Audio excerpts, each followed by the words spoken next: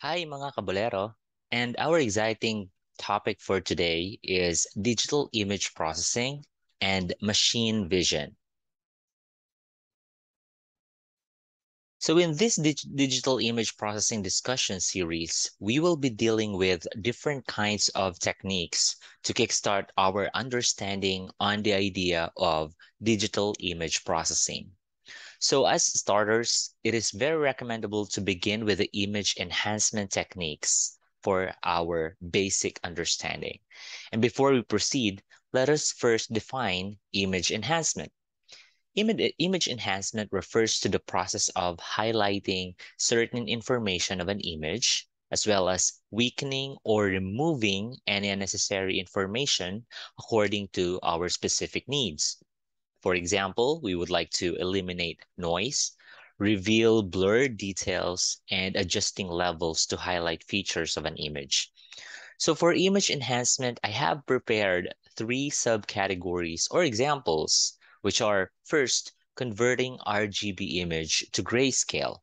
Second, contrast stretching for grayscale and RGB images. RGB means red, green, and blue image, or what is known to be colored images.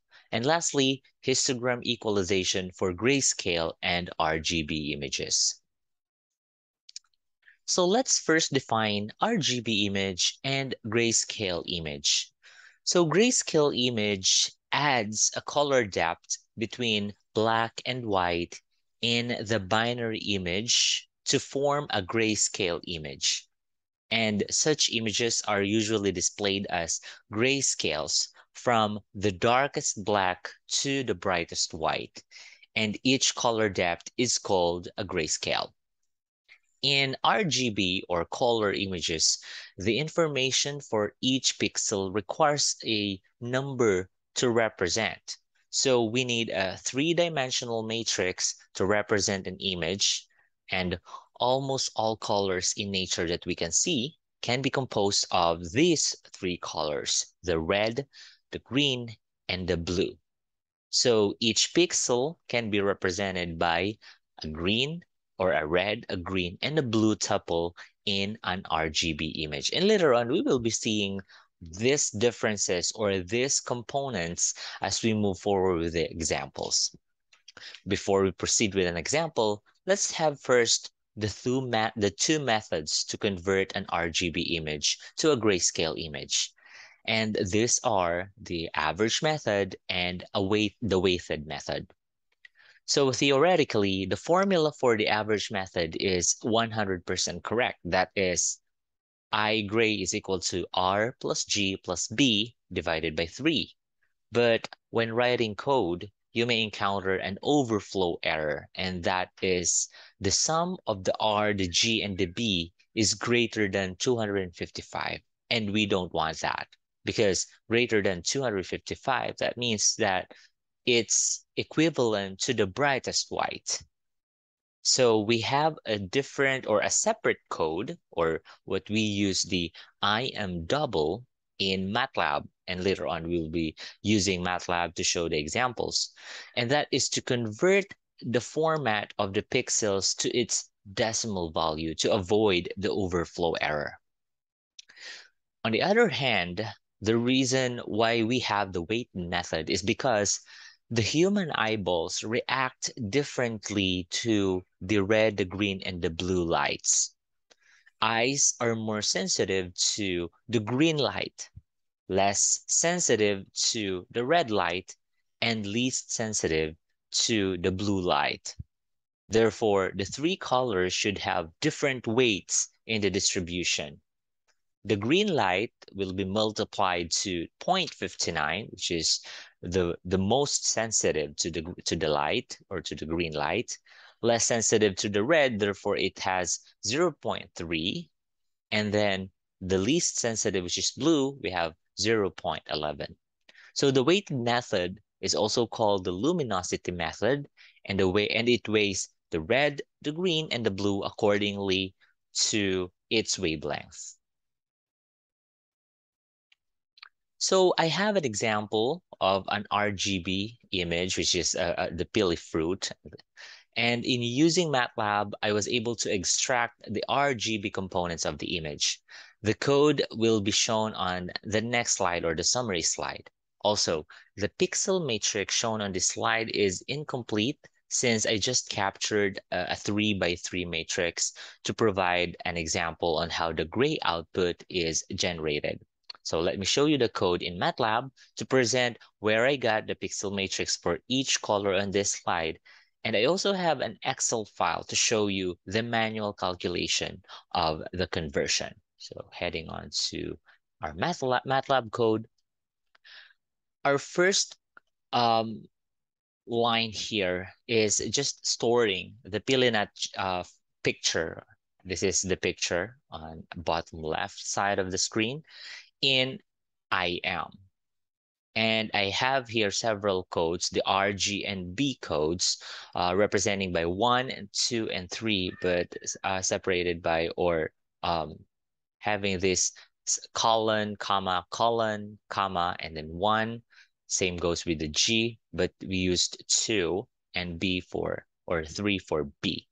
And the last code or the last line here is storing the picture or the output uh, picture using the imsplit and then montage so that the R, the G, and the B components of our picture will be uh, presented on a single flash. So let's try running this code.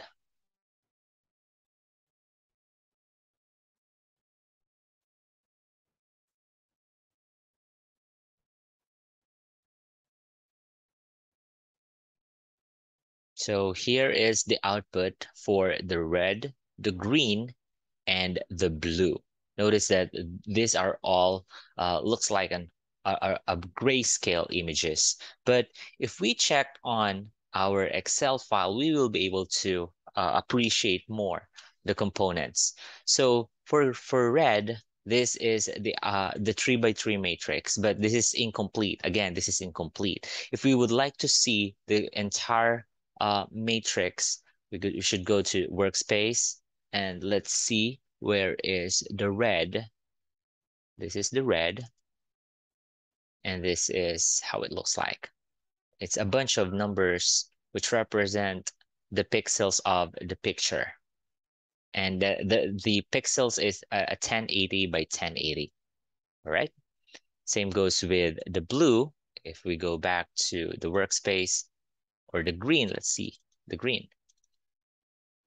This is the representation of the green and the blue. And that's how it goes. So the red is 56, 53, 54, 63, 52 for the 3 by 3 matrix. And our manual calculation here for the grayscale is uh, using the weighted method. And this is how it looks like. So if we go back to MATLAB and run the code, let's close this out, run this convert image to grayscale image imread, and our code is um, IM to gray, right? Let's play or, or let's run this code. And the output is this one.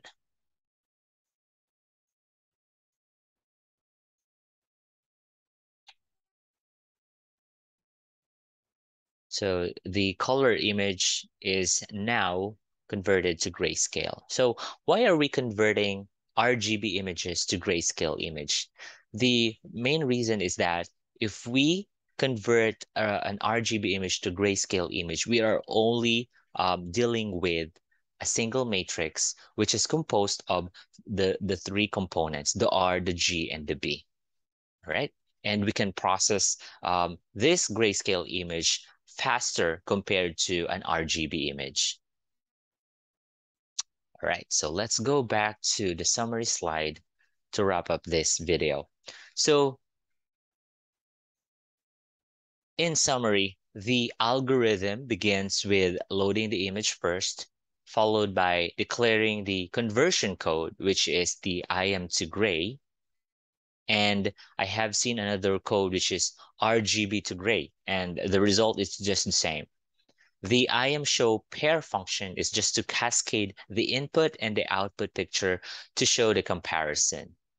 So common image processing techniques convert RGB image to grayscale, again, to easily manipulate the pixels since grayscale images only has a single pixel matrix as compared to the RGB images, which has three different matrices for the red, the green, and the blue space.